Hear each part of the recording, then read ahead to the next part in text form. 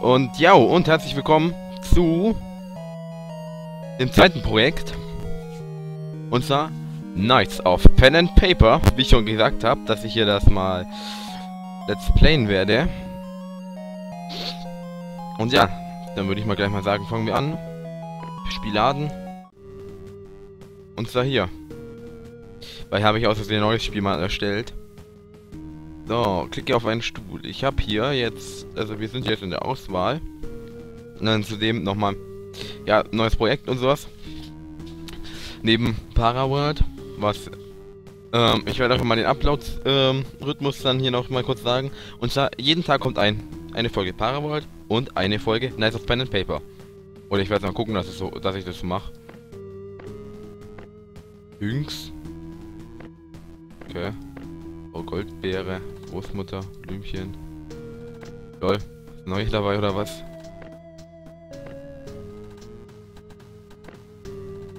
Hugo. Grenzüberschreitung. Zusätzlich 5 Bedrohung und... Oh, okay. Geil. Zu allen nett. Bedrohung um minus 5 und Mana-Entzug um 5% reduziert. Toll. B2. Retardo plus Angriff. Lol, da sind welche neu dazugekommen. E.T. Paris, der Rocker, der kleine Bruder, Bello, Schwarzkanone, Pizzabote, Nerd und Bürohengst. Ich denke mal, ich werde als erstes mal den... Uh Nein. hm. Ich denke mal, ich brauche einen Tank. Und wer eignet sich da nicht besser als Großmutter? Zusätzliche zwei, ähm, zusätzlich 200% auf Bedrohung. Oder habe ich hier noch jemand anderen, der zusätzlich... Oh nee, der ist der Hugo. Der ist besser. Zusätzlich 5 Bedrohung und hier oh, ähm, 10% auf kritische Trefferchance. Dem gebe ich... Der wird hier der perfekte Tank und zwar der wird Ritter. Die habe ich mir zufällig freigeschaltet. Gegenschlag, Drachenblut. Der Ritter greift an und erzieht dem Ziel 20% TP, äh, TP ähm, des von ihm zugefügten Schaden. Frontkämpfer. Der Ritter äh, stellt sich in vorderster Linie, erhöht 3 Runden Bedrohung um 5 und körperliche Widerstand um 2%. Ähm, denkt äh, Kampftraining. Denkt diszipliniert, äh, nee, dank disziplinierten Training steigt deine kritische Trefferwahrscheinlichkeit auf 3% und die äh, und du entziehst dem Ziel bei erfolgreichen Angriff 5 TP körperlich und körperlicher Widerstand steigt um 1%. Das ist passiv vor allem. Der Gegenschlag, Drachenblut und Frontkämpfer. Also wenn das nicht mal der perfekte Tank wäre, dann wüsste ich auch nicht weiter. So, Spieler hinzufügen. Ja. Ich war mal was? Ich war mal Weitläufer. Okay. So, wenn du Wiederbelebungskosten für diesen Spiel um 50% reduziert. Dann nehmen wir mal den Nerd. Der wird hier. Mh, hm, hey, was kann der Bade eigentlich? Kakophonie. Ein grässlicher Missklang, der allen Zielen zwei ähm, 2 bis 2 magischen Schaden zufügt. Einklang. Der Bader spielt ein Wohlklang, der ein freundliches Ziel und ihn selbst um 10 TP heilt. Octavarium. Der Bade singt ein Lied, das alle Gruppenmitglieder zwei Züge lang um 3 TP heilt. Akkord der Macht.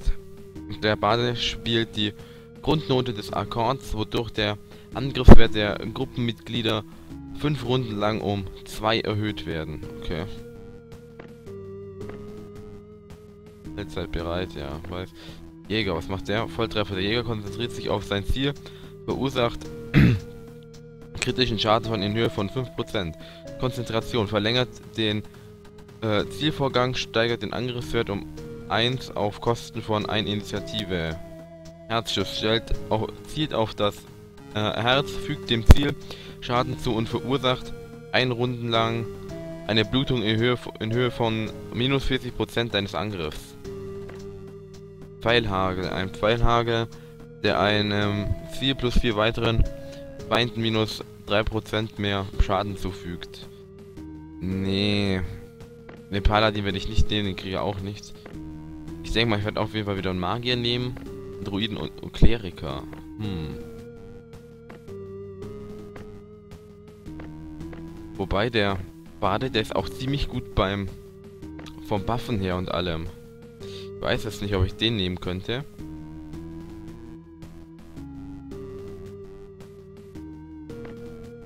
Weil, nee, ich nehme den Kleriker. Der kann hier ziemlich gut heilen. So, Spiel hinzufügen. Ja. Und das Let's Play wird etwas, wird wahrscheinlich lang dauern. Ich habe da 11 Gold, cool. Kann mir noch einen anderen holen. Ach, hinzufügen für äh, 10. Ach, das kostet jetzt 10 Gold und nicht 5. Okay. Was brauche ich denn noch für einen? Ich bräuchte am besten jemanden, der noch irgendwie etwas stark, äh, stärker ist. Alleskönner. Oh, Goldbeere. Fräulein Goldbeere. Die passt eigentlich als Magier. Spiele, ein Fähigkeitsstore.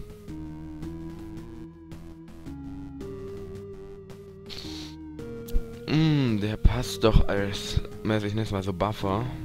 Aber mal gucken. Wen nehme ich denn? Sportskanone, ein Angriffsbonus. Komm, die Sportskanone wird mal Krieger. Ja. Okay. Tag 1. Also, sind alle, äh, sind alle bereit? Alle Charakterbögen fertig? Ja. Lass uns abrocken. Abrocken?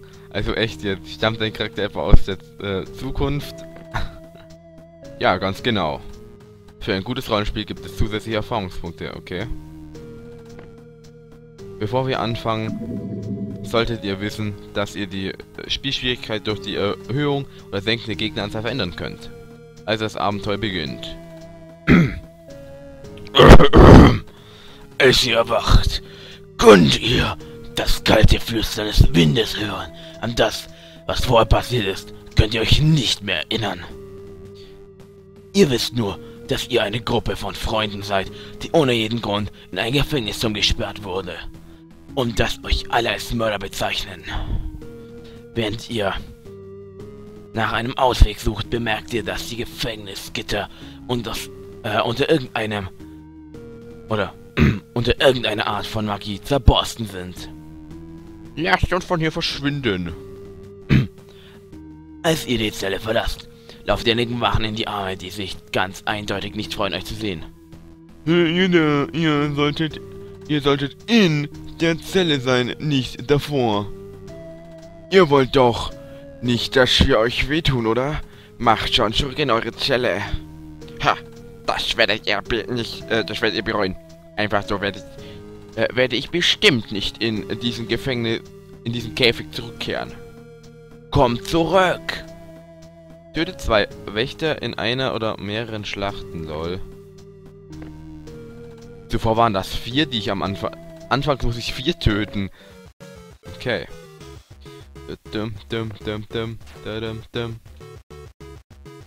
Ach cool, der hat eine Lanze.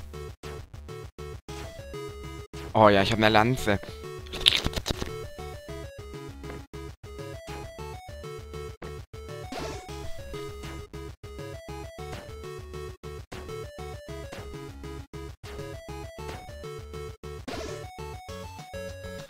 Dum dum dum. Dum dum dum dum dum Wow, ich hab den, wir sind noch nicht mal Level abgegangen, lol. Schlagt Alarm Ausbruch im ersten im ersten Stock. Oh oh, der Alarm. Ich finde, wir sollten uns an den nächsten Wachen vorbeischleichen. Würfeln. Guter Wurf. Die anderen Wachen sind so sehr mit der Suche nach euch beschäftigt, dass ihr unbemerkt an ihnen vorbeischleicht. Als ihr das Erdgeschoss des Turms erreicht, seht ihr eine sonderbare Gestalt in einem dunklen Umhang die mit einem Pferdewagen auf euch wartet. Sonderbare Gestalt. Wir sollten diesen Ort schnell verlassen. Beeilt euch. Ich weiß zwar nicht, wer du bist, aber fürs Erste müssen wir wohl, äh, müssen dir, wir dir wohl vertrauen.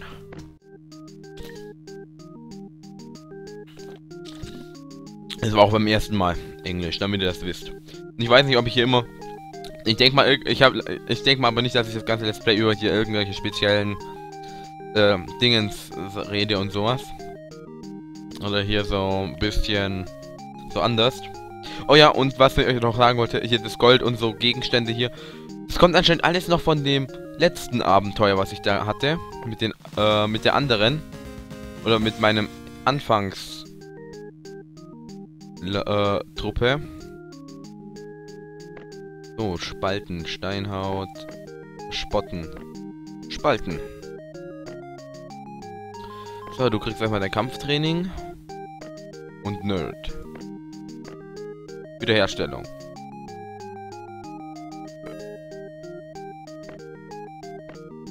Entweder wurde das gepatcht oder es ist einfach anders, weil ich jetzt ähm, neues Spiel gemacht habe. Und das kostet, der kostet 80, okay. So, dann machen wir mal Quest. Quest erstellen. Jagd. Beutezug. Roter Zielapfel. Hey Abenteurer, wie wäre es, wenn ihr mir etwas zur Hand gehen würdet? Mir sind die Übungsziele ausgegangen und der und daher habe ich mich gefragt, ob ihr nicht zufällig rote Äpfel bei euch habt. Die roten Äpfel sind direkt hier im Startdorf zu finden. Da die Ratten mir viele Äpfel gestohlen haben, solltet ihr von... Äh, ja, solltet ihr einige bei ihnen finden können. Erbeutet 20 rote Zielapfel. Oh, Riesenratte Elite. Erhöhen wir mal den Schwierigkeitsgrad. Mm, mm, mm, ha.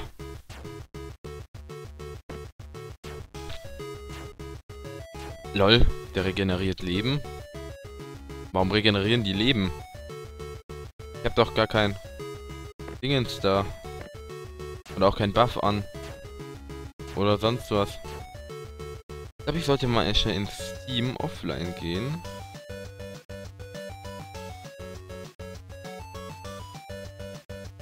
Äh, offline. So. Okay.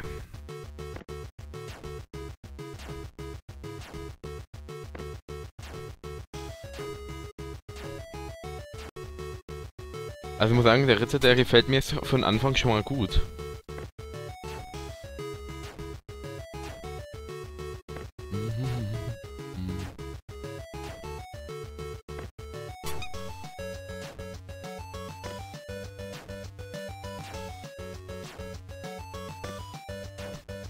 Warum werden die immer alle geheilt? Verstehe ich nicht. Es ist zwar gut, aber trotzdem. Weiß nicht, vielleicht ist es Anfänger- oder Startbonus oder sowas, aber... Also was hatte ich beim ersten Mal noch gar nicht.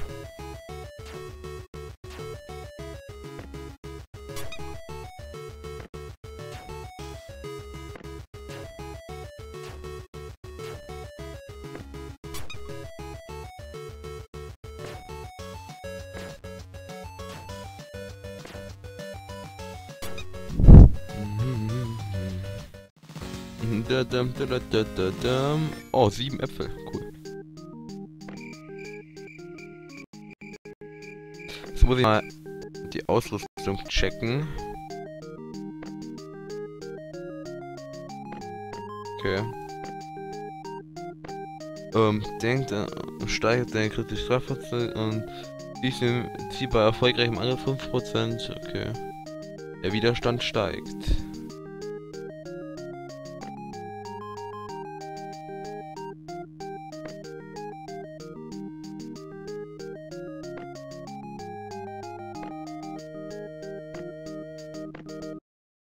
Plus ein Angriffsbonus.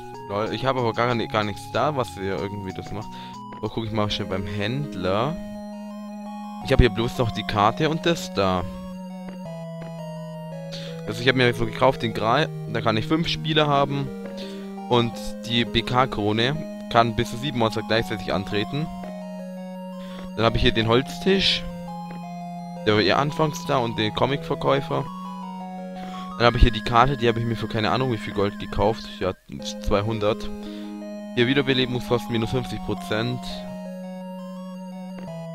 Karte, minus 50, Wiederbelebungskosten minus 50% Reisekosten. Schwert und Schild minus 10% Schmiedekosten. Tür zum Wald. Ach, regeneriert 2 HP. Lol, das habe ich gar nicht. Habe ich mir doch nie gekauft. Lol. Roter Teppich plus 4 Gold.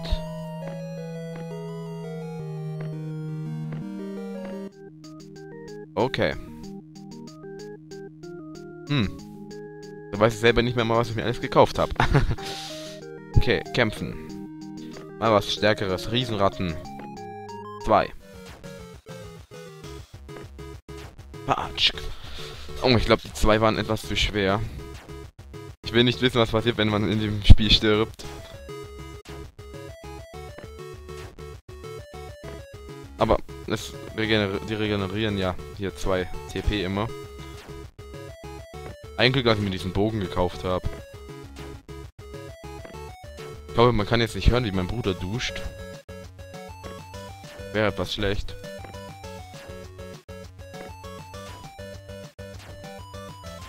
Weil ich das hören kann. Aber ich glaube, die Musik vom Spiel ist eh laut genug. Ja, gleich eine Ratte tot. Ja. Tötet sie! Schnell! Zack, zack. Ich glaube, ich mir jetzt erstmal mein Gold, um mir dann äh, so einen nächsten Typen zu holen.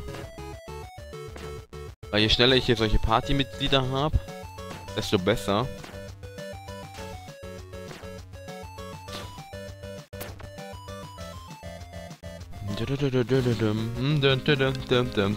Oh, cool.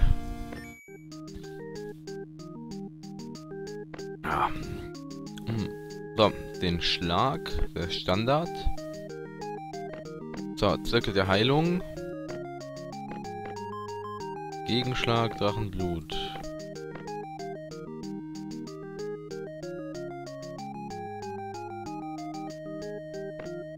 Hm, Gegenschlag. Bewirkt ein Gegenschlag äh, mit einer kritischen Trefferwahrscheinlichkeit von 20% und senkt den erlittenen Schaden um bi bis zur nächsten Runde um 50. Wie gesagt, der beste Tank, den man haben kann. So, kämpfen. Da kämpfe ich mal gegen Fledermäuse. Nehmen wir mal drei. Nein, ich will keine... Wir beginnen. Lasst mich etwas Neues heraus, äh, ausprobieren.